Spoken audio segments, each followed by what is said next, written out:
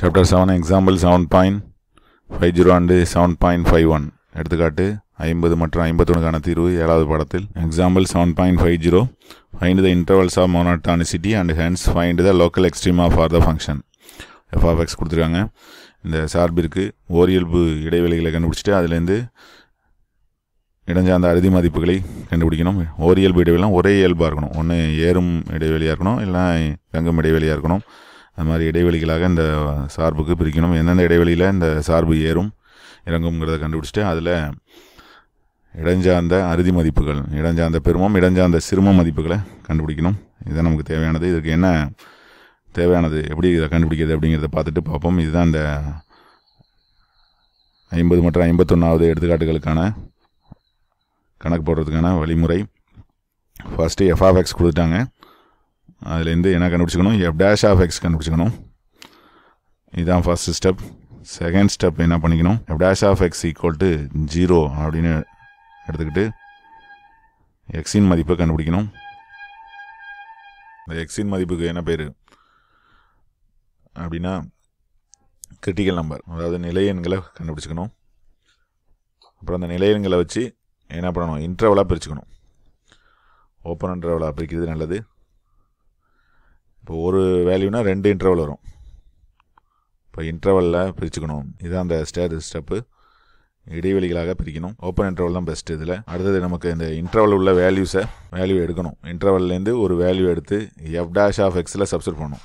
F dash of எக்ஸில் சப்ஸ்ட் பண்ணால் அது வந்து பாசிட்டிவ்னா அந்த இன்டர்வலில் இன்க்ரீஸிங் அதாவது ஏர் இன்க்ரீசிங்னா என்ன ஸ்ட்ரிக்ட்லி இன்க்ரீஸிங் ஏன்னா வேல்யூ ஜீரோ ஆகிறதையும் நம்ம இதில் சேர்க்கல. ஓப்பன் இன்டர்வல் எடுத்ததுனால ஸ்டிக்லி இன்க்ரீஸிங் அதாவது திட்டமாக ஏறும். அந்த இன்டர்வலில் இருக்கக்கூடிய வேல்யூ சப்ஸ்ட் பண்ணும்போது நெகட்டிவ் வந்துச்சுன்னா ஸ்ட்ரிக்ட்லி டிக்ரீஸிங் அதாவது திட்டமாக இறங்கும் அப்படிங்கிறத சொல்லிடலாம்.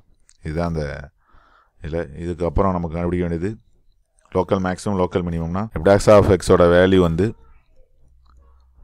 பாசிட்டிவ்லேருந்து நெகட்டிவாக மாறுனுச்சுன்னா த்ரூ த பாயிண்ட் ஒரு அந்த எக்ஸோட வேல்யூ பாசிட்டிவ்லேருந்து நெகட்டிவாக மாறுனுச்சுன்னா அப்போ என்ன ஆகுது இன்க்ரீஸ் ஆனது டிக்ரீஸ் ஆகுது அப்படின்னா அந்த இடத்துல என்ன இருக்கும்?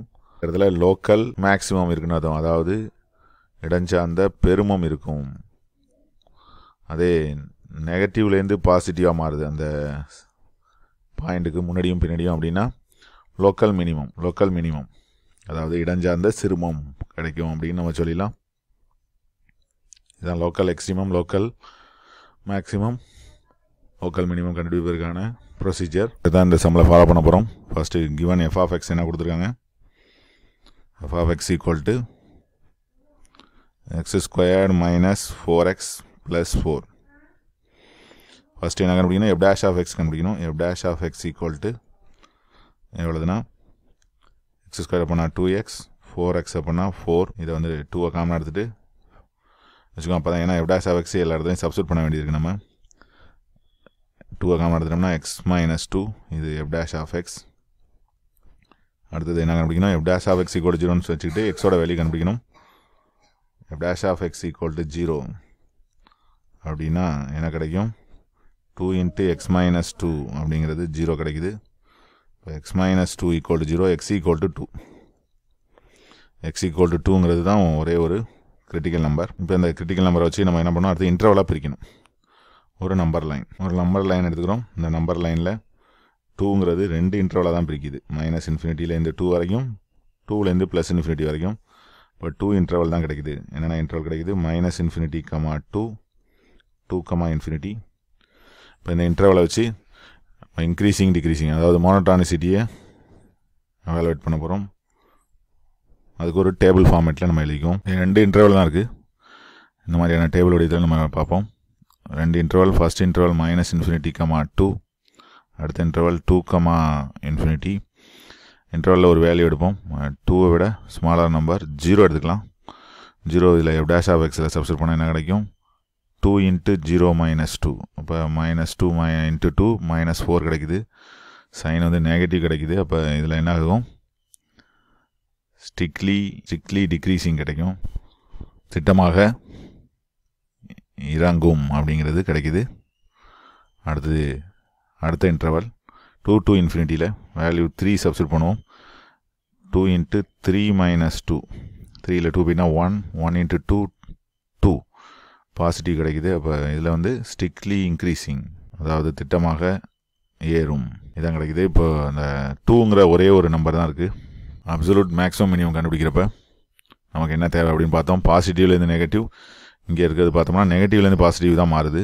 இப்போ லோக்கல் மினிமம் வேல்யூ ஆட்டு இந்த டூ எப்டாசாவ் எக்ஸோட வேல்யூ வந்து எப்டாசாவ் எக்ஸோட சைன் வந்து நெகட்டிவ்லேருந்து பாசிட்டிவாக மாறுது. எப்போன்னா எக்ஸ் ஈக்குவல் டூவை கிராஸ் பண்ணும்போது டூக்கு முன்னாடி வந்து மைனஸு டூக்கு அப்புறம் ப்ளஸ்ஸு எக்ஸ் ஈக்குவல் டு ரெண்டை கிடக்கும்போது எப்டாஸ் ஆஃப் எக்ஸ் வந்து குறி வந்து மைனஸ்லேருந்து ப்ளஸ்ஸாக மாறதுனால என்ன கிடைக்குது நமக்கு? Local minimum value at X equal to two அந்த சிறுமம் எதில் இருக்குன்னா எக்ஸ் ஈக்குவல் டு ரெண்டில் இருக்குது இப்போ இடஞ்சார்ந்த சிறுமம் வேல்யூ கண்டுபிடிக்கணும்னா என்ன பண்ணுவோம் அந்த எக்ஸோட வேல்யூ எடுத்து எஃப் ஆஃப் எக்ஸில் சப்ஸ்டியூட் பண்ணோம் எஃப் ஆஃப் எக்ஸுங்கிறது கொடுக்கப்பட்ட sum x square minus four x plus four இந்த மினிமம் வேல்யூ அப்படிங்கிறது என்னென்னா f of two f of டூனா two square minus four into two plus four இப்போ four minus eight plus four எயிட்டில் eight போயிட்னா zero அப்போ லோக்கல் மினிமம் வேல்யூ ஜீரோ இடஞ்சார்ந்த சிறும மதிப்பு அப்படிங்கிறது கிடைச்சிருது.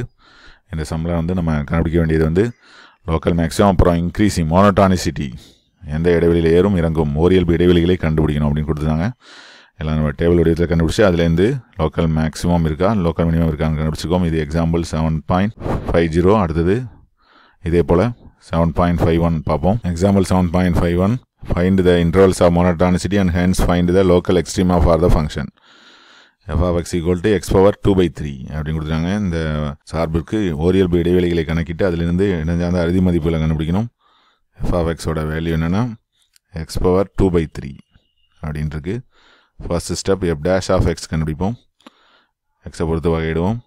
பவரில் இருக்கிற முன்னாடி எழுதிட்டு பவரில் ஒன்று குறைக்கும் n x power n minus one two by three x power two by three minus one என்ன கிடைக்கும் two by three x power two by three minus one three வந்துடும் இங்கே. இப்போ two minus three by three அதாவது two by three x power minus one by three அப்படின்னு கிடைக்குது.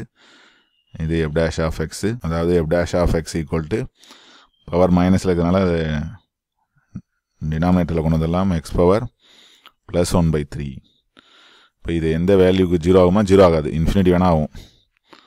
எந்த value போட்டாலும் இதோட வேல்யூ வந்து ஜீரோ ஆகாது.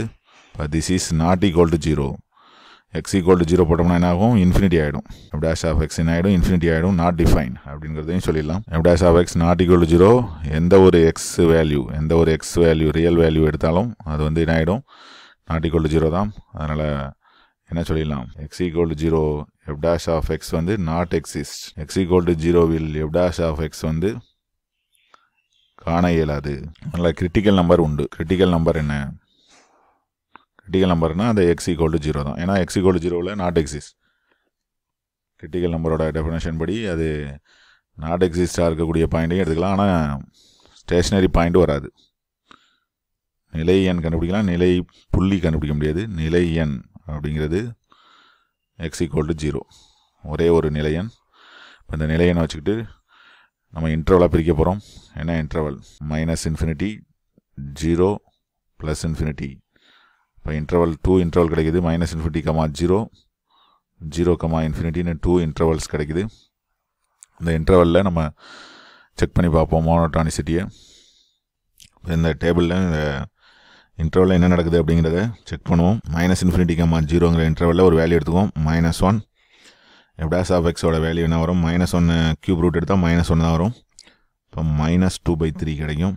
இப்போ எப்டாஸ் ஆஃப் எக்ஸோட சைன் வந்து நெகட்டிவ் என்ன சொல்லலாம்? திட்டமாக இறங்கும் அப்படின்னு சொல்லலாம். ஸ்ட்ரிக்ட்லி டிக்ரீசிங் ஓகே அடுத்த இன்டர்வல் ஜீரோ கமா இன்ஃபினிட்டிங்கிற இன்டர்வலில் வேல்யூ ப்ளஸ் ஒன் எடுத்துக்கும் ப்ளஸ் டூ பை த்ரீ இப்போ பாசிட்டிவ் தான் கிடைக்குது. இப்போ திட்டமாக ஏறும் அப்படின்னு சொல்லிடலாம் அது மாதிரி இங்கே strictly increasing strictly increasing strictly degree இப்போ போன சம் மாதிரியே தான். மைனஸ்லேருந்து பா ப்ளஸ்ஸாக மாறுது. முடாசாவுக்கு changes it sign from negative to positive through x equal to zero x equal ஜீரோவை கிடக்கும்போது உடாசாவ் குறி மைனஸ்லேருந்து ப்ளஸ்ஸாக மாறுது. இப்போ எக்ஸ் ஈக்குவல் ஜீரோவில் என்ன கிடைக்குது நமக்கு? லோக்கல் மினிமம் இடஞ்சார்ந்த சிறும மதிப்பு கிடைக்குது. அப்போ மினிமம் வேல்யூ கண்டுபிடிக்கணும்னா எஃப் ஆஃப் எக்ஸில் இந்த எக்ஸ் ஈக்குவல் ஜீரோ சப்ஸ்ட் பண்ணோம். இப்போ local minimum value equal to f of zero இடஞ்சார்ந்த சிறும மதிப்பு f of zero f of எக்ஸுங்கிறது x power two by three அப்போ zero power two by three அதாவது ஜீரோ தான் கிடைக்குது. இதுதான் லோக்கல் மினிமம் வேல்யூ இந்த சம் மூலமாக லோக்கல் மினிமம் வேல்யூ கண்டுபிடிச்சிருக்கோம். அதோட இன்டர்வல்ஸ் ஆஃப் மோனோட்டானிசிட்டி கண்டுபிடிச்சிருக்கோம். ரெண்டு சமமே ஒரே மாதிரியான நெகட்டிவ்லேருந்து பாசிட்டிவ் அதாவது மைனஸ்லேருந்து ப்ளஸ்ஸாக மாறுறதுனால லோக்கல் மினிமம் வேல்யூ அந்த இடத்துல கிடைக்குது அப்படிங்கிற கண்டுபிடிச்சிருக்கோம்.